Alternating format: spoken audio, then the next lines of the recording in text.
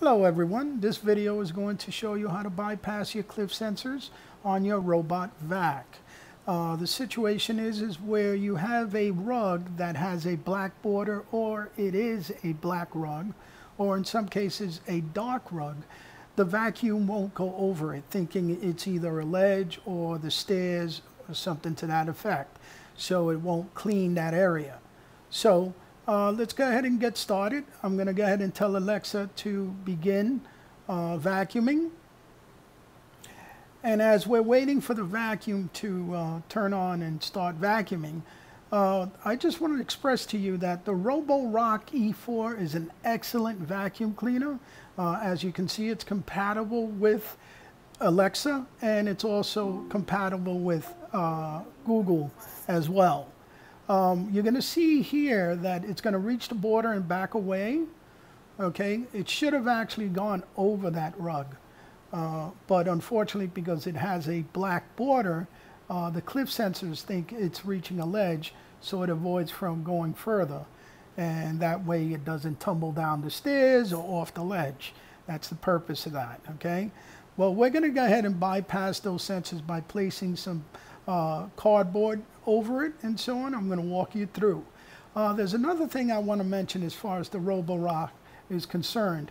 Uh, this is one of the few budget vacuum cleaners that actually has mapping. That's what it's actually doing right now. Uh, it's got a mapping sensor underneath, and what it does, it actually maps your rooms in, within your home. Uh, it's not like your LiDAR uh, uh, robots, which are a lot more expensive.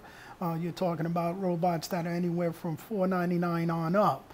Uh, this one here was actually on sale for $219. And that is rare, especially the fact that it does uh, map your home, okay? I'm gonna go ahead and tell uh, Alexa to uh, redock uh, the vacuum cleaner so we can go ahead and move on to the actual process of uh, modifying the sensors. Okay, uh, let's go ahead and do that. And here you see it's actually uh, looking for the base. So it does a 360 degree uh, uh, rotation so it can actually sense where that sensor is. It'll make whatever adjustments necessary so it can line itself up properly. Uh, and as you can see, I've got it close to uh, a stand there, a little cabinet there. They tell you to put it uh, at least three feet from each side. It's really not necessary. It works well and it docks, and uh, I haven't had any issues with it whatsoever. But I will recommend this vacuum cleaner. I've had the Shark, and I also have had uh, tested other uh, Robo vacuums that I had to send back, and by far, this is the best one so far. Okay, so what we're going to do is we're going to bypass the cliff sensors on this Roborock E4. Excellent vacuum, as I mentioned earlier. Uh, the problem is, is that it won't go over the carpeting, as you saw in the video. Uh, it Now, Keep in mind, and I'll mention it again, that I live in a single level home, so I don't have any stairs or edges that it can go off a balcony or anything to that effect. If you do, I don't recommend modifying the sensors or, or bypassing the sensors like I'm about to show you. So, before we begin, you're going to need some materials. The first material that you're going to need is the core of a paper towel roll okay? Now, you have to make sure that that core is white, not gray, okay? Some of them come in gray. So basically, you're going to take this cardboard uh, roll here, and you're going to cut it in half. And you're going to open it up. As you can see, it's totally white in here. You want to use this side, not the side with the lips, okay? Uh, the overlap, I should say, okay? You want to use the inside. As you can see, there's some cutouts. So you're going to need that, and you're also going to need a pair of scissors, a pen, and tape. Now, the tape that I recommend is the Gorilla Tape. Okay, the reason I recommend this tape because it's heavy duty and you won't have to repeat this process again. If you use any other tape, masking tape, scotch tape, it doesn't stick as long, it'll wind up wearing off and you've got to repeat the process again. So to begin, the first thing you want to do is turn off your RoboVac. Turning off. Okay, once it's off, you're to flip it. Now keep in mind you've got this little lid here, so you want to go ahead and hold on to that lid. And you're to go and lay it on its uh, the top of the vat. And now, one thing I want you to be aware of is this bumper. Now, since it's laying down, you'll notice it's really not going in and out. But if I lift it, see how it, it actually flexes, okay? That is when it bumps into a piece of furniture or anything to that effect, it'll change direction, okay? So you want to make sure when you lay out the tape that you don't tape that bumper because it won't work. It'll, it'll prevent it from actually activating the sensors. And as you can see here, what I did is I put this here as an example. This is what you're actually going to cut out. You're going to cut out a piece of cardboard like so. That's larger, obviously, than the sensor itself. And you're going to place that above it. And that's where you're going to grab your pen. Now, notice the tip is not out. The tip is inserted. So you're going to grab that, that pen and basically you're going to create you're going to go in there and you're going to shape it you dig into it like so. Okay? See that indentation? And that's what you're going to cut around. Now you're going to give it a little bit of an excess on top. Okay? And the reason why I'll show you in a second this is the cutout. Doesn't have to be perfect. It's just enough to cover the sensors right in here, okay? So you, you, this is the cutout. So when you insert it, or place it, I should say, place it like so, and you want to overlap it a little bit in right behind that sensor a little bit, okay? You can dig in with your nail, and it'll hold it in place.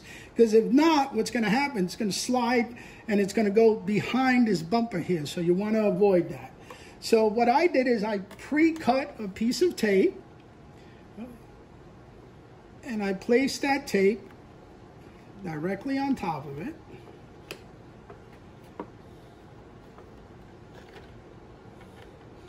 And again, like I said, you want to make sure you don't tape the bumper. If you got a little excess tape, you, you uh, put your nail in there and just wrap it around the frame, okay? or you can cut it exactly, whichever way it works for you. But the, the, the important part is that the bumper continues to be able to move, okay? Let's check that bumper. It's working, okay? All right, good enough. Okay, all right. So that's basically it. And you do that for every sensor. It has a total of four sensors. One, two, three, and four. Okay? Flip it over. Let's turn it on.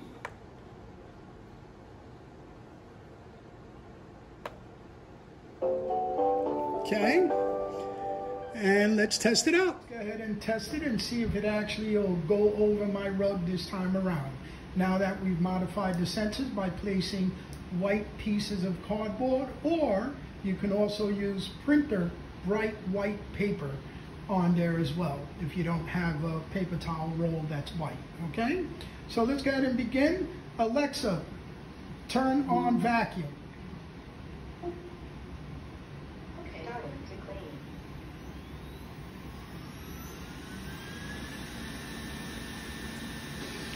as you can see, it powers up.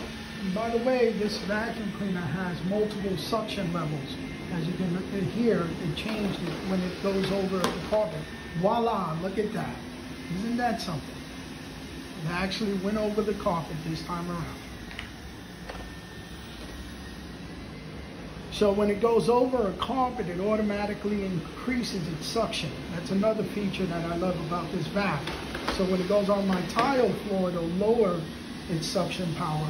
On a rug, it'll increase the suction power. I'm gonna go ahead and send it back home.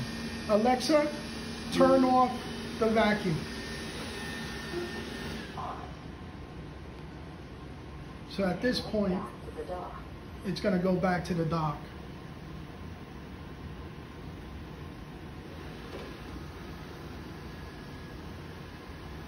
Like I said earlier, I've gone through several uh, robo vacuums.